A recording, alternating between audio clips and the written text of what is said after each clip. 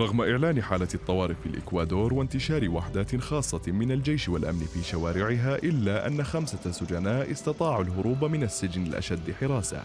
سجن غواياكيل حيث يقبع فيه المجرمون الأكثر خطورة في البلاد.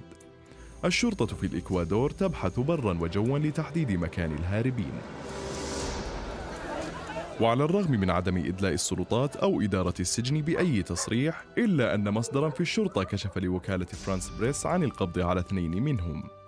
وذلك بعد فترة وجيزة من هروبهم عبر الجزء الخلفي من السجن.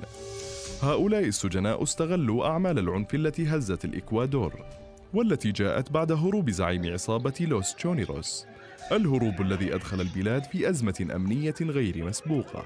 ما اضطر رئيس الإكوادور إلى إعلان حالة الطوارئ ودخول البلاد في نزاع مسلح داخلي. سلطان العيبان العربية.